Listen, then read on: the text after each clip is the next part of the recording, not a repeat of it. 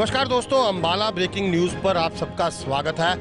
आज हम एक मुद्दा आपके सामने लेकर आ रहे हैं कि जो चुनावी माहौल है, वो एक बार फिर गर्म हो चुका है। यही कारण है कि सभी राजनीतिक पार्टियों के जो नेता हैं, वो एक बार फिर चुनावी मैदान में उतर चुके हैं। गांव-गांव जा रहे हैं, लोगों से बातचीत कर रहे हैं और साथ में ही एक बार फिर आईएमटी का जिन निकल करके बाहर आ रहा है। हमारे साथ भाजपा के प्रदेश प्रवक्ता संजय शर्मा इनसे बातचीत करेंगे। सर, चुनाव आ गए और एक बार फिर आईएमटी का जो जिन है, वो निकल कर बाहर आ क्या कहें जिस शब्द के लिए आपने जिन्न प्रयोग कर लिया मुझे लगता है जिन्न तो ठीक नहीं होता। जिन्न के बारे में ऐसी राय है कि वो लोगों के स्वास्थ्य को भी खराब करता है और जनता के लिए भी अच्छा नहीं लोगों में डर भी पैदा करता है। तो जिन्न तो बाहर आना नहीं चाहिए। आईएमटी जो है वो बन जाता शहर में। विनोद शर्मा आईएमटी को लेकर आए थे लेकिन जो भाजपा के ही कुछ नेता हैं उस समय जो अपोजिशन में थे उन्होंने बनने नहीं दिया। क्यों? क्या मतलब अम्बाला को रोज़गार की ज़रूरत नहीं है या अम्बाला में लोगों को रोज़गार नहीं चाहिए? नहीं अम्बाला में रोज़गार की भी ज़रूरत है। अम्बाला के नौजवानों को रोज़गार चाहिए, लेकिन उसके लिए हम किसानों की बेशकीमती ज़मीन को बर्बाद नहीं कर सकते।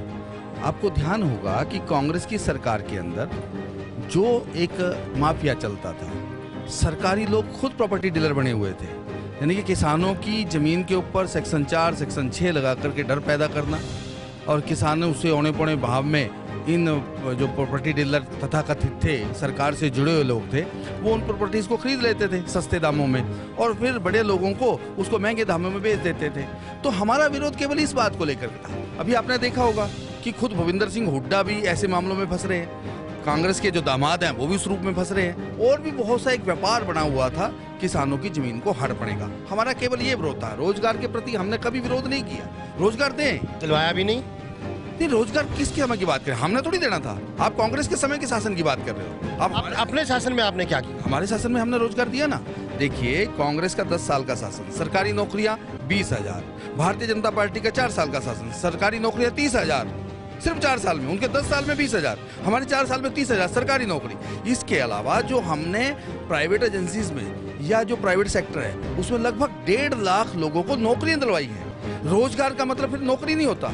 हमने इतने ही लोगों को हरियाणा के अंदर, जो लोन है, वो सरकारी बैंकों से दिलवाया है, ताकि लोग अपने पैरों पे खड़ा हो, अपनी इंडस्ट्री लगाएँ, और बल्कि और लोगों को रोज़गार दें। तो हमने उस सिस्टम को चलाया है। केवल सरकारी नौकरी देने से ही सब कुछ नहीं होता, लेकिन सरकारी नौकरी भी हमने कांग्रेस से ज़्यादा दी है। संजय जी, किसी भी शहर के इंफ्रास्ट्रक्चर को उठाने के लिए इंडस्ट्री जो है, वो एक अहम रोल अदा करती है।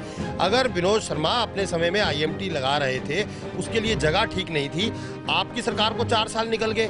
आप आईएमटी लगाते, कोई नई जगह ढूंढते, लेकिन उसका प्रयास जो है, वो ज़ीरो परसेंट रहा। ऐसा क्यों? या क्या क्या कारण है कि अम्बाला में कोई बड़ी इंडस्ट्री लगाने की कवायद ही नहीं की गई भाजपा सरकार की तरफ़ से? देखिए, भारतीय जनता पार्टी की सरकार ने जो हरियाणा में कुछ ऐसे सेक्टर्स हैं, कुछ हरियाणा में ऐसा क्षेत्र है जहाँ बल्क में इंडस्ट्री आ रही है। चाहे वो गुरुग्राम है, चाहे वो फरीदाबाद है, चाहे वो सोनीपत है, ये सारा क्षेत्र ऐसा है जो एक इंडस्ट्रियल हब के रूप में बढ़ रहा है। आपको पता होगा कि हरियाणा को number one number one Hooda sahab कहते थे। लेकिन जब हमारी सरकार आई तो हमने देखा तो हम तो चौदहवें नंबर पर खड़े हैं। और हमारी सरकार ने, विपुल गोयल जी ने और हमारे आदरणीय मुख्यमंत्री मनोहर लाल जी ने ऐसा सिस्टम बनाया है कि आज Haryana ease of doing business में तीसरे नंबर पे आया है। सच में तीसरे नंबर पे आया है। वो सब झूठा था वन नंबर का।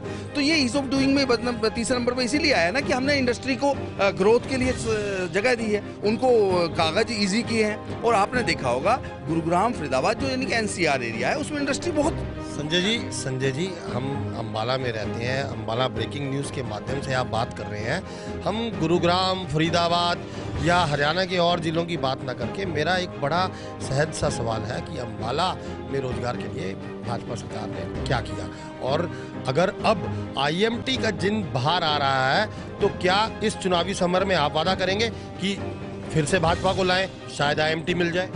देखिए, मैं अम्बाला भाजपा का प्रवक्ता नहीं हूँ। मैं भारतीय जनता पार्टी हरियाणा प्रदेश का प्रवक्ता हूँ। इसलिए मैं हरियाणा की बात करूँगा, मैं हरियाणा में रोज़गार की बात करूँगा, मैं हरियाणा में इंडस्ट्री की बात करूँगा। जहाँ तक अम्बाला के रोज़गार की बात है, देखिए, गुरुग्राम और फरीदाबाद और सोनीपत भी हरियाणा में है। ये वो सरकार नहीं है जो रोहतक का विकास करेगी। ये वो सरकार नहीं है कि हमारे आने के बाद सिर्फ़ हिसार का विकास करेगी। ये वो सरकार नहीं है जो केवल भिवानी और सिरसा का विकास करेगी। ये सरकार हरियाणा एक हरियाणवी की सरकार है। ये सरकार सबका साथ, सबका विकास की सरकार है। ये सरकार जाति के आधार पर लोगों को नहीं बांटती ये सरकार क्षेत्र के हिसाब से लोगों को नहीं बांटती इसलिए हरियाणा में रोज़गार हरियाणा के लोगों को लिए मिलेगा ना। गुरुग्राम में अगर इंडस्ट्री आ रही है तो उसमें अम्बाड़ा के लोग भी भर्ती होंगे।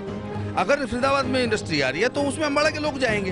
तो अगर हरियाणा के किसी क्षेत्र में इस तरह की उद्योग आता है तो उससे पूरे हरियाणा को लाभ मिलता है, ना कि एक क्षेत्र विकास चलिए, अम्बाला के लिए जो है, आप चाहेंगे कि अम्बाला, क्योंकि खुद आप अम्बाला के रहने वाले हैं तो आप चाहेंगे और आप जो है, दावेदार भी हैं टिकट के तो आप चाहेंगे कि अम्बाला को जो है, वो कुछ ना कुछ मिलना चाहिए, और अगर आपको टिकट मिलती है, आप जीत कर आते हैं तो आप अम्बाला के लिए क्या कुछ सपना जो है, वो आँखों में लिए?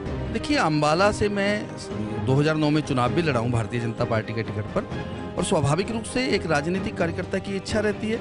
कि वो विधायक बने? लेकिन वर्तमान में हमारे विधायक श्री असीम गोयल जी हैं और मुझे लगता है कि जितना विकास वो करा रहे हैं, वो के प्रदेश से जितना पैसा आ रहा है अम्बाड़ा का नक्शा आपको बदलता हुआ दिखाई दे रहा होगा। पूरे शहर के अंदर पूरा सफ़ाई अभियान आप देख रहे होंगे, कितने अच्छे से अम्बाड़ा आज चमकता हुआ दिख रहा है। जो अम्बाड़ा का हार्ट ऑफ़ द सिटी है, चाहे वो पार्क है, चाहे वो तालाब है बामन भगवान का, चाहे वो और उस क्षेत्र की कालका चौक से लेकर के और अम्बाला शहर से बाहर निकलने वाली सड़क है, ये सब आपको दिखाई दे रही है। विपक्षियों की माने तो सब अधूरा पड़ा। है देखिए, काम ऐसा नहीं होता कि ऊपर से उठाया, कहीं चिपका दिया। विकास का मतलब होता है फेजिज में काम होना। तो वो फेजिज में काम करेगा तो कहाँ, जहाँ से चलेगा तो कभी तो जाकर सिरे होगा ना और मुझे लगता है अगले तीन चार महीनों में सारा काम आपको सिरे लगे हुए दिखाई देगा।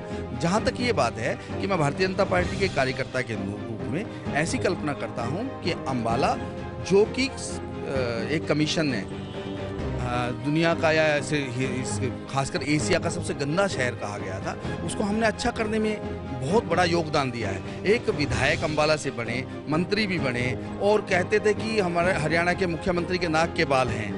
विनोद शर्मा जी की मैं बात कर रहा हूँ। दस साल वो विधायक रहे, लेकिन अम्बाला का नक्शा नहीं बदल पाए वो।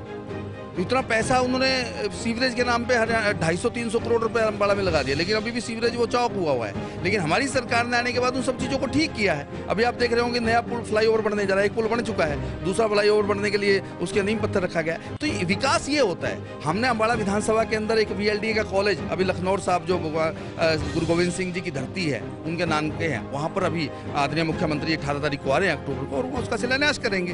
तो ये विकास होता है। उन्होंने बताया कौन सी इंडस्ट्री लगाई यहाँ हरियाणा में। कौन सा यहाँ कॉलेज खोला?